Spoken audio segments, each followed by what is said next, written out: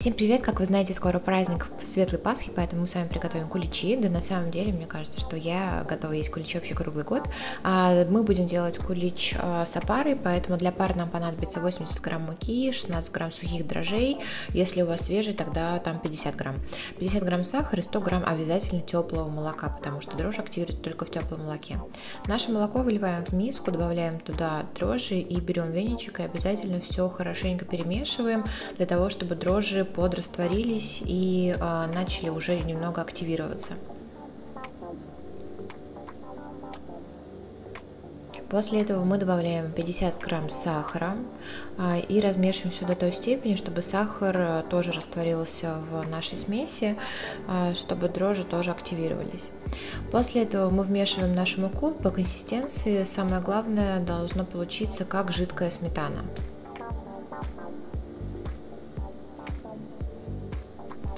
Далее мы убираем все под пленку, убираем в теплое место на 40-60 минут. Через 20 минут обязательно проверьте, а, подходит ли у вас опара.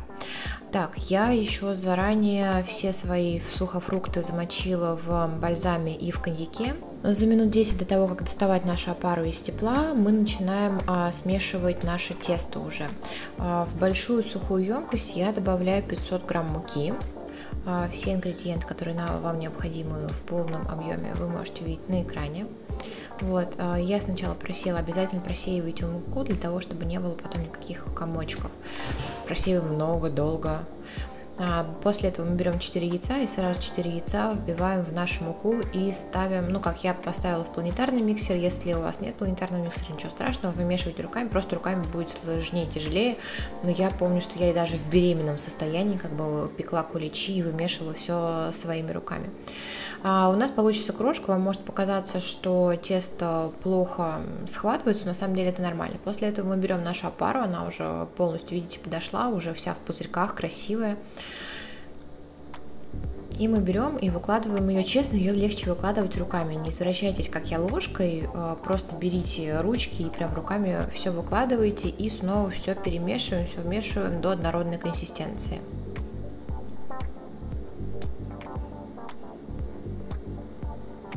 я сразу решила добавлять параллельно теплое молоко, а, потом понемногу для того, чтобы получилось более а, вязкое тесто.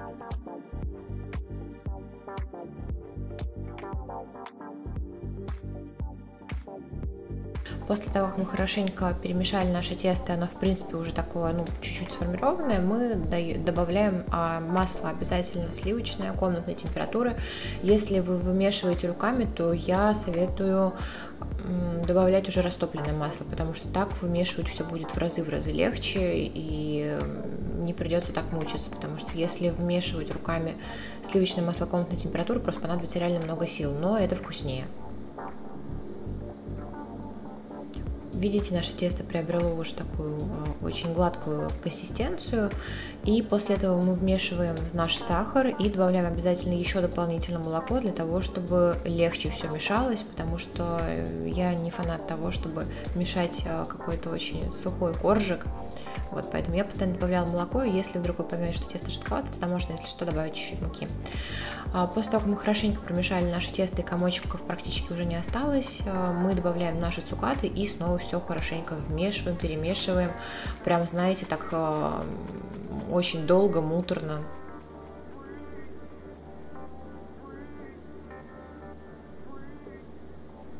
Я добавила еще немного муки, для того, чтобы сформировался правильный по консистенции, консистенции теста. Начала уже вымешивать все руками, потому что миксер уже на этом этапе не справлялся. На этом этапе лучше уже добавлять оливковое масло. Ну, вы можете любое растительное, я всегда предпочитаю оливковое. А, и прям дальше-дальше месить тесто, не жалеть своих сил, пока тесто не перестанет, самое главное, липнуть к вашим рукам. Как только тесто перестало липнуть к вашим рукам, вы можете сформировать такой колобок, все, дело сделано. Вы можете а, отправлять его подходить, обязательно берите новую сухую а, большую миску, смазывайте всю внутренность миски оливковым маслом, для того, чтобы когда тесто подходило, оно потом легко отходило от самой миски. Также смазывайте обязательно наш колобок оливковым маслом, для того, чтобы а, он, когда подходил, не лопался, ну, в общем, просто, просто поверьте. И после этого накрываем пленкой, отправляем обязательно в теплое место. Как видите, это уже вот результат спустя полтора или два даже часа. Тесто попыталось убежать и поглотить мою ванну, потому что тесто стояло на теплом полу ванной в темноте великолепно там подошло. Если у вас нету теплого места дома, а, возьмите духовку, поставьте ее на 40-60 градусов, и этого будет достаточно. Даже, наверное, на 40, на 60 будет многовато. Обминаем наше тесто, добавляем, присыпаем сначала чуть-чуть мукой, обминаем пару раз, снова добавляем оливковое масло, а, формируем колобок, накрываем пленкой и отправляем снова в теплое место, в темное, отдыхать э, еще на час.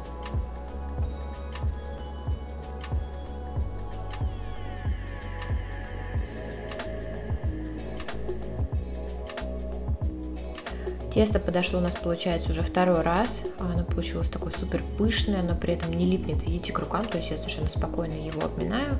А, вы заранее подготавливаете формочки для того, чтобы расфасовать тесто. У меня из каждого кусочка, ну, каждый кусочек я формировала по 460 грамм а, по 470, какой-то вышел 490, самый толстенький. Вот. Ну, тут получается, что на 4 больших кулича мне хватило как раз-таки всего этого объема теста. Когда вы отмеряете количество теста, которое вам необходимо, уже формируете колобочки, обязательно тоже смазывайте руки маслом для того, чтобы они легче формировались. И для того, потому что все равно дальше мы оставим их а, снова в теплом месте растаиваться. И после того, как наши куличики снова подошли через 40 минут, мы заранее смешали желток и молоко, и этой смесью просто покрываем наши куличи для того, чтобы они не пригорели, и для того, чтобы а, была очень красивая такая золотистая корочка сверху. Отправила я в духовку на 30 минут, а, но смотрите по своей духовке, на 180 градусов. Слушайте, они получились просто невероятно румяные. Я делала уже до этого куличи, мне такие красивые еще не получались, поэтому этот рецепт действительно так максимально рекомендую.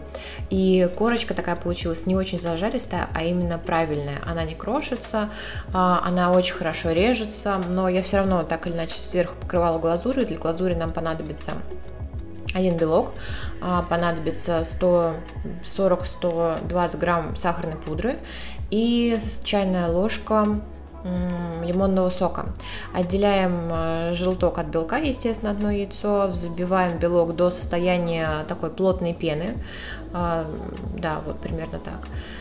После этого добавляем сахарную пудру, добавляем немного а, лимонного сока для того, чтобы наша глазурь была такая более глянцевая и все взбиваем до крепких пиков. Ну, то есть по факту как для безе. То есть когда вы достаете миксер для того, чтобы за ним вот такая вот штучка тянулась. После этого мы берем наш кулич и покрываем его глазурью не жадимся, потому что на самом деле я вам написала чуть больше глазури, чем я делала, потому что я делала на одно яйцо, вам нужно на два, и все увеличивать как бы там получается на два, тогда будет действительно очень вкусно и очень много сверху шапка вот из глазури. Мне потому что на один кулич не хватило, но на самом деле этого и хорошо, потому что я его разрезала для дальнейшего видео, потому что вот так вот как раз таки выглядят финальные куличи, очень красиво получилось, и сейчас вы сможете увидеть разрез. На самом деле вот эти куличи постояли в прикомнатной обычной температуре э, всю ночь, и вот с утра я их разрезала, видите, кулич легко режется, нож просто отлично входит, э, кулич очень мягкий, единственное, я бы сделала послаще, но я вам в рецепте указала уже э, порции сахара, чтобы, ну, чуть увеличенные, потому что э, у меня в семье не все любят, допустим, сладкие куличи, поэтому я решила сделать такой супер нейтральный кулич, а, чтобы все могли, если что, намазать на него сливочный сыр. Дима, привет, да. А и все в таком вот духе. Вот, так что я надеюсь, что вам понравился. Я надеюсь, что этот рецепт а, вы им воспользуетесь, а, что он не испугал вас настолько, насколько он длинно расписан в комментариях. Я вас всех очень сильно люблю. Всех целую. Всем пока.